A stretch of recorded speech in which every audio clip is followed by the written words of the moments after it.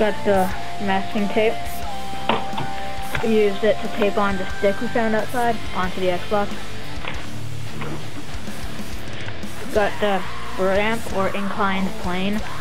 We got skateboard, wheel, and axle. We got the basketball, the basketball book you read on a table on a futon and a bouncy ball slash rubber band ball. So you shut. You roll it. It rolls. Hits the book. The book tumble over. The basketball hits it. Skateboard hits the Xbox. And it turns on. Oh, what the? It's still on. You can see the green light.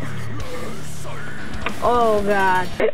See what projects do to machines. Ow! Oh! Oh! But